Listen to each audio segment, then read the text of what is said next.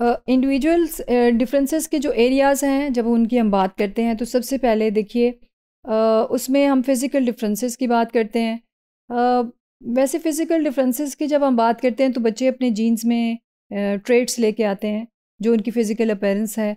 अपने पेरेंट्स से लेके आते हैं जिसमें वो रंग अपना स्किन का कलर कॉम्प्लेक्शन उनकी हाइट उनका वेट उनकी हेल्थ और इसी तरह से जितनी आँखें, नाक, कान, सारी जो शक्ल है उनकी, ये चीज़ें जो हैं वो अपनी इनहेरिटेंस में लेके आते हैं।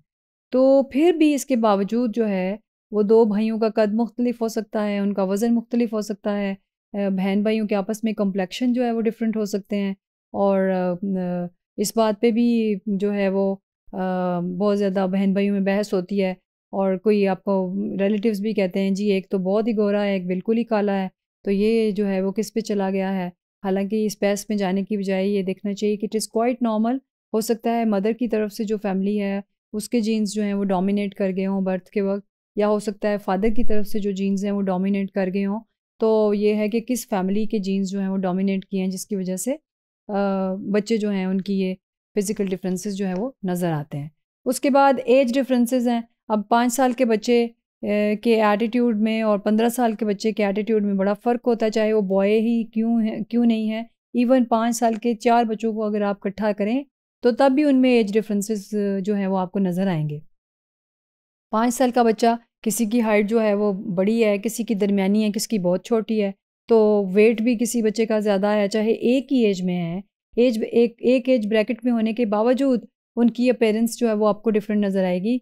एक बच्चा आपको लगेगा सात साल का, एक बच्चा आपको पाँच साल का और एक बच्चा बिल्कुल ही तीन साल का। तो हाइट वेट और अपेरेंस जो है वो डिफरेंट हो सकती है। This is also you know normal it means that it depends on the environmental factor how what kind of food they are taking and what kind of environment they are getting positive negative उससे भी एक बच्चे की appearance जो है उसमें बड़ा फ़र्क पड़ता है। इसके बाद ये सेक्स डिफरेंसेस हैं मेल और फीमेल जो है इनकी हाइट वेट और इनकी अपेरेंस दोनों में ज़्यादा डिफरेंस होता है। और एक ही ग्यारह साल का अगर लड़का और लड़की है तो उनकी भी हाइट में फ़र्क होगा, क्योंकि बॉयज़ और गर्ल्स का जो उनकी मेचोरिटी है, वो टू इयर्स का डिफरेंस होता है तेरह साल तक। बच्चे जो बॉयज़ जो हैं वो दो साल लेट मेचोर होते हैं गर्ल्स जो हैं वो ग्यारह साल की उम्र में मेचोर होती हैं बॉयज़ का thirteen years eleven twelve thirteen मतलब इसमें कुछ ना कुछ डिफरेंस आ जाता है। लेकिन जो थेरीज़ हैं वो यही कहती हैं कि इनका टू इयर्स का गैप जो है वो आता है मेचोरिटी का। तो ये डिफरेंसेस भी हैं उसके बाद इंटेलेक्चुअल और मेंटल डिफरेंसेस हैं। By intelligent by intelligence children are different और uh, एक ही पेरेंट्स के बच्चे हो के भी उनके अंदर डिफरेंसेस होते हैं और एक एज ब्रैकेट में होने के बावजूद भी उनकी इंटेलिजेंस डिफरेंस हो, हो सकती है। और uh, ये सारे डिफरेंसेस जो हैं ये नॉर्मल uh, भी हैं और इनकी जो रीज़न है वो आपके जीन्स भी होते हैं और आपका इन्वायरमेंट भी इसका रिस्पॉन्सिबल होता है। फिर इमोशनल डिफरेंसेस हैं। अब एक ही घर में पाँच बच्चे हैं तो एक बड़े बच्चे को बहुत ही टेंशन मिली है।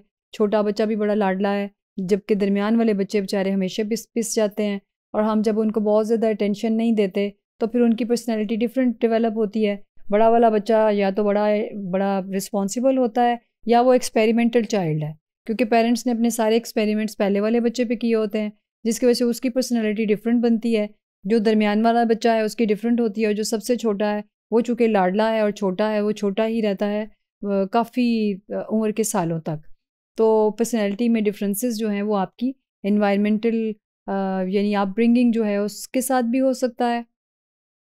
सोशल एडजस्टमेंट सोशल एडजस्टमेंट ये है कि the way parents are interacting with people और कितनी सोशलाइजेशन वो कर रहे हैं। बच्चे उसको फॉलो करते हैं इमिटेट भी करते हैं और बच्चों की अपनी पर्सनैलिटी में भी एक ख्वाहिश जो है वो लोगों से मिलने की है, कम है, ज़्यादा है, ये भी एक डिफरेंस जो है उनकी पर्सनैलिटी में हो सकता है। इसके अलावा differences in interest and mental abilities हैं।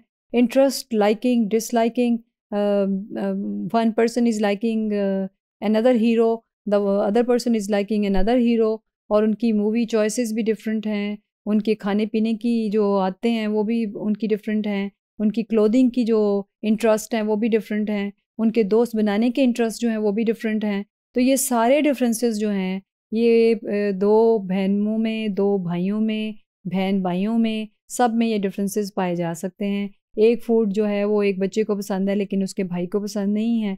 अब आपने अपने घर में ये डिफरेंसेस देखे होंगे तो ये डिफरेंसेस जो हैं, इनको किस तरह से मेंटेन करके इक्वल सपोर्टिंग सिस्टम कैसे हम क्रिएट कर सकते हैं, वो पेरेंट्स और टीचर्स जो हैं, वो दोनों मिलके सोच सकते हैं कि हमने अब फिफ्टी की क्लास है, अब फिफ्टी की क्लास में हर बच्चा डिफरेंट है, अपने तमाम इन एबिलिटीज़ के लिहाज से तो हमने इन फिफ्टी बच्चों को किस तरह से एक साथ लेके चलना है तो हर टीचर की, हर एक बच्चे से एक्सपेक्टेशन डिफरेंट होनी चाहिए, इसी तरह पेरेंट्स की एक्सपेक्टेशंस अपने बच्चों से डिफरेंट होनी चाहिए, हर एक को ये ना समझें कि मैं डॉक्टर और इंजीनियर बना सकता हूँ हर बच्चा अपने इंटेलिजेंस के लिहाज से मुख्तलिफ़ हो होता है, इसलिए पेरेंट्स को रियलिस्टिक एक्सपेक्टेशंस रखनी चाहिए।